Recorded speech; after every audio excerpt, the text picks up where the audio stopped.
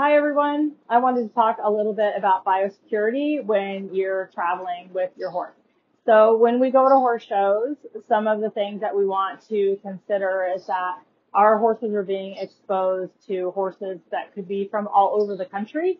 And so we don't want them to drink out of the same glass as these other horses. So if you kind of think of all the COVID protocols, um, we have the same biosecurity type protocols for the horses. So it's important that you not share your wheelbarrow or your manure fork with horses that live outside the barn that your horse lives in at home.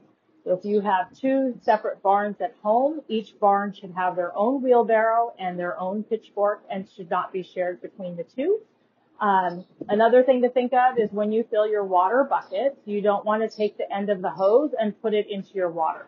I even actually let a little bit of water run out of the hose before I start filling my bucket. Um, because if that was in someone else's water bucket when they were filling it, because maybe they don't know the biosecurity guidelines, then you take that hose and you fill your horse's bucket. You're just passing the other horse's germs onto your horse. And there's just so many places that we don't have control over the biosecurity at the shows. So we want to try and take control of it wherever we possibly can. Another thing to think about is when you take your horse into a stall, the likelihood that that stall has had any sort of disinfectant in it is extremely low. So before I ever spread any of my bedding, I spray the walls down with a disinfectant that is safe to use around animals. Um, some of those disinfectants you can just leave on the walls. Others you do need to wipe. Um, most of them you do not need to rinse. And so I'm going to do the do- the walls. I'm going to do the door, and because my horse is really good about having a stall guard up, I'm going to do the stall front for him as well. And once I've done all that, I'll hang my bucket, I'll spread my shavings, and then I'll bring my horse in. When you have wood stalls, wood walls, um, it's nearly impossible to disinfect them. So probably not going to get much done with the uh, spraying any type of disinfectant on the walls, but it's not going to hurt. So, you know, if you have one of those little sprayers that you just kind of pump the top and then squeeze and it just does a constant spray, those are great for getting your disinfectants down because uh, you're covering a pretty large area. Um, but those are kind of the main things I think of in the stable area. No sharing buckets, hoses not going into the water bucket, disinfecting the stall walls, no sharing of manure fork, which means you also don't borrow a fork from someone else, no sharing of wheelbarrows. And then when you're walking the horse around the property, a lot of horses like to sniff at other horses' manure.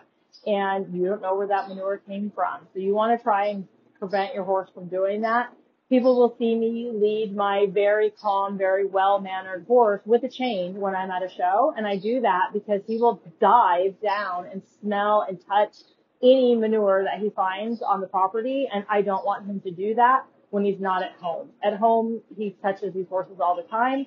I'm not as strict about it. At a show, he's not allowed to touch another horse's manure. And I do need a little stronger aid than just his soft padded leather halter.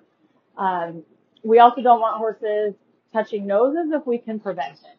Most of the stalls at horse shows, quite frankly, they can touch the neighbor, but at least that's a small group of horses that they're touching. So maybe we don't let them touch all their best new friends that they just met at the horse show today, but they can certainly go out and hang out, walk around with them and just maybe not touch with them. I also try not to touch horses that are not in my direct stable group, um, unless my hands have been sanitized before and after I touch that horse. So if I'm going to go to the paddock area and coach someone, I use a little hand sanitizer because 90% of the time when I go to the paddock area, people know that I'm willing to help whoever needs help. So if someone needs a girth tightened, I'm going to go tighten the girth for them. If they drop their whip, I'm going to go pick it up for them but I know my hands were clean before I touched their items. And then I usually just have a little um, handy wipe in my pocket and I just wipe my hands before I then go and touch my client's horse that I was there coaching. And I do think that's important because the spread of disease can happen extremely fast at a situation like a horse show. So just be really aware of like everything you do. If you're touching manure or urine or sweat or snot off of another horse, you probably don't want to bring that back to your horse. And there's so much more we can do, but it would drive us all crazy. We can't do foot baths every time we walk in and out of our stall and all that kind of stuff. But there are things we can do to try and help with the spread of disease. One of the really important items too, I want everyone to consider your horse's temperature. Know your horse's temperature. Take your horse's temperature regularly. Take it a few days before you go to the show. Take it frequently while you're at the show. Any change in temperature, report it to the show management, report it to the veterinarian, and just really make sure that um, you're monitoring that temperature. So in the event that your horse does get sick, hopefully the whole horse show doesn't get sick. So every, if you like my videos, like it, share it, hit the subscribe button. I put out a video every Monday and I try and talk about whatever topics that you want related to horses, uh, stable management, riding tips, um, whatever you, you name it. Um, I'll talk about it. So happy riding everybody.